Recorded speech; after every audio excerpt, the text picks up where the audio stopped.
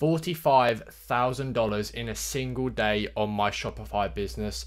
I'm going to be sharing with you today exactly how I achieved this figure, everything involved, and as we approach Black Friday, these are going to be some very important things that you can implement now, ready for Black Friday, Cyber Monday weekend, which is literally in 26 days' time or so. So if you're watching this before then, you are in for a treat. This is going to be incredibly valuable and stuff I wish I knew two years ago, for example, to make the most of Black Friday and Cyber Monday. Now, just before we jump into this, I am just going to show you my Shopify dashboard to give you a bit of context on how Black Friday, Cyber Monday was for me last year. You can see here, um, if you're on the homepage of Shopify, you can break your analytics down by BFCMs. You can see if we go to 2022, we did $47,000 across the weekend. Uh, the best day being the Saturday, which was just under 15k in revenue. But if we then jump to last year, 2023, we 3x'd that and did 163k in a single weekend and had pretty much back-to-back days the friday and saturday you can see here uh, about $45000 worth of revenue which is a lot and it was a lot to manage don't get me wrong. It came with its stressful moments but we're going to talk we're going to talk all about that in today's video. Um, let me know how your black fridays have been as well in the comments down below. I'd be incredibly interested to see how um, they've been in the past for you, what you expect to do this year, but that is how mine have been uh, in the past. Now, towards the end of my last video, I did mention I am now offering one-on-one -on -one mentorship. This is a great way to work personally with me. I don't do sort of group coaching calls, if you like. It is simply one-on-one -on -one with myself to give you the attention you deserve and the information that's relevant to your business because with group coaching calls, you could sit there for an hour and not really get any useful information because each business is different. So if you want help growing your business and need any help with Google Ads, building a brand, email marketing, anything at all, then drop me a message on Instagram and I'll be in touch and we can definitely get that sorted. And if there's a time to do it, it is now. We're approaching Black Friday. Let's get some things in place to have the best possible BFCM weekend for your business. Okay, let's jump into this. There are a few things you are going to want to consider now before even Black Friday comes around. And this is based on lessons learned over the last few years. If you rely on AliExpress dropshipping, for example, I would highly recommend moving away from that, finding a private sourcing agent or fulfillment agent, whatever you want to call them, because you're never going to truly know the stock levels of a product on AliExpress. And if you buy, you know, you might surprise yourself and have a really good Black Friday, Cyber Monday weekend, but then if your supplier on AliExpress runs out of the product, you're going to have no orders. You know, there's going to be no way to fulfill your orders, which is just going to result in a ton of chargebacks. So, if you haven't already, move away from AliExpress. AliExpress, don't get me wrong, is very good for testing products, but for your best sellers, you really want a fulfillment agent to manage those for you. Now, if you've got a fulfillment agent that you're already working with, please, uh, you know, I can't recommend this enough because we had a few issues last year with ours. Make sure they're going to be using the safest, the quickest, and the most reliable shipping lines to whichever country you ship to. Because last year, for example, with my business, some of the larger sized physical products we sell in terms of, you know, dimensions and weight we tested and found out the hard way a new shipping line that we were told from the provider is going to be quicker, it's going to be safer. Turns out wasn't the case. Some people ended up waiting longer than expected for their parcels, and that resulted in more refund requests and a few chargebacks. So it could have been a lot worse. Luckily, my fulfillment team reshipped any orders that were affected completely free of charge, so it didn't cost me anything. Stick with the reliable shipping lines, especially this time of year. Q4 Black Friday is not the time to be testing new shipping methods for your business. Use what works because you don't want to run in, into any issues this time of year. Now, another thing is going to be email marketing. As you may know, if you've watched me in the past, I outsource this. I've got a professional who manages email marketing for my businesses.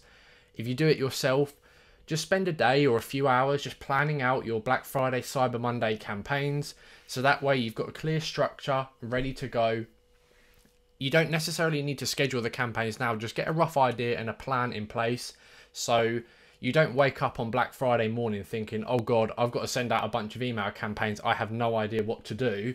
Just get it ready, one less thing to worry about. And if you need inspiration, just go through your personal email inbox. I'm sure many of you are subscribed to some of your favorite brands. For example, myself, Gymshark, things like that. Just go back and see what emails these brands sent you last year and just, you know, get a good idea of the subject lines and the offers and the content within the emails that should be enough to give you a good starting point with your email marketing plan. And just quickly jumping over to my email marketing account on Klaviyo, this is the same period you can see here, November 24th to the 27th of last year, Black Friday, Cyber Monday.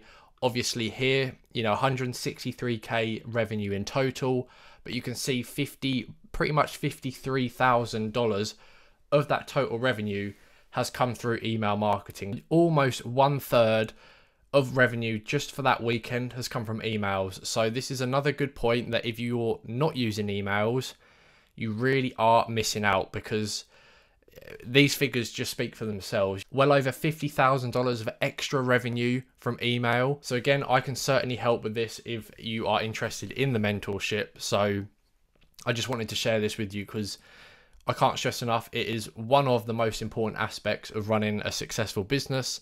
And if you're not using it, then you really, you know, you're missing out massively. Now, again, leading on from the previous point, it's all about preparation, and this goes deeper, this goes further, this goes into your ad accounts and not just on the surface level of stock fulfillment. You can start to make preparations within your ad account, whether it's Google, Meta, Pinterest, Microsoft, whatever you use. You can start to make these changes today, which will benefit you in a couple of weeks' time when BFCM does finally come around. And a great example here is you want to be gradually increasing your campaign budgets now rather than leaving it to the day. And by doing this, a great point here is you're already preparing your campaigns for the higher spend and you're reducing that risk of completely losing the optimization. Now, a good example here let's say you've got a campaign in Google right now that's a hundred pound a day budget. Now, based on past experience or what you expect you might want to spend on Black Friday, let's say you want that campaign to be a 500 pound budget on Black Friday. Now, you're not going to just wait and up your budget by 400 pounds that morning. You're going to want to gradually increase this for the next couple of weeks. So by the time we get to Black Friday, it's already at 500 pounds or perhaps beyond based on performance because a lot of people might think, okay, I'm just waiting for Black Friday. That's only really going to be the day where performance is really good. But from today, I'm making this video on the 1st of November most businesses will see a gradual increase in demand, sales, traffic as we approach the Black Friday Cyber Monday weekend. So let's say you do the opposite and wait for Black Friday and scale a campaign from £100 to £500 in a single day. That's a huge jump. That could easily throw off the optimization. It could easily spend that budget as well, and it could easily spend it terribly, and you could make a loss. So it's just about getting your campaigns prepared and ready. So what I would suggest and what I always do from this sort of point on, every three or four days, this is for Google and Meta mainly, every three or four days, I am going ahead and increasing the budgets by about 20% or so and just making those small changes as we lead up to Black Friday, Cyber Monday. So everything is ready beforehand so we're not sitting here panicking on Black Friday morning thinking oh god I need to up my budget it's already going to be in place and it's just something I highly recommend based on past experience. Now another very important talking point here is going to be the creatives and the overthinking of the aspect that you need to completely change all of the ads you're running on Facebook to Black Friday themed ads. Last year in reality for this example I've given you today 10% of my ad spend across that weekend was probably focused on Black Friday specific ads. And all I did for those, I would take the ads that are doing the best at the moment. For my business, it is mainly static image ads. And I would simply add a Black Friday banner across the top. Um, by that, I mean across the top of the image, I'd just add something extra on Photoshop and make that the, the difference there. But I would keep the same ad copy, I would keep the same headline, I would keep the same landing page but simply have just that Black Friday banner across. Now, a lot of people think that they need to suddenly turn off everything in the ad account and only run Black Friday themed ads, but you really don't want to be doing that.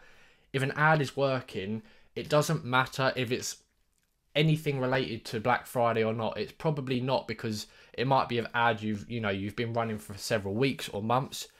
Why would you turn something that's doing well off just to replace it with a Black Friday ad that you can really only run for a few days because once it's over, you, you can't really run Black Friday ads in the middle of December, for example. So if you've done that in the past, don't do it. If you want to allocate a bit of spend, 10 20% is fine because these are going to be useful to people who are familiar with your brand and existing customers and things like that. So if we just go through a few points here very quickly, you can see I've mentioned Google Ads as well. Now, you don't necessarily need to add a bunch of new asset groups to PMAX campaigns. You don't necessarily need to make brand new search campaigns Black Friday themed. Within search campaigns, you can obviously schedule promotional things and things like that for headlines to only appear, appear on certain dates.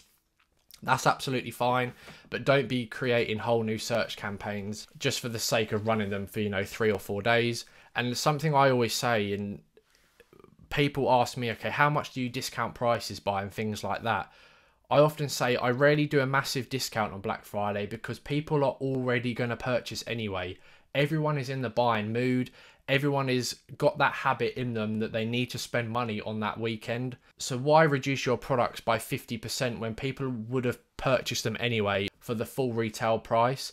You might add a discount code here and there, perhaps 10, 20% off on the header if someone uses a code.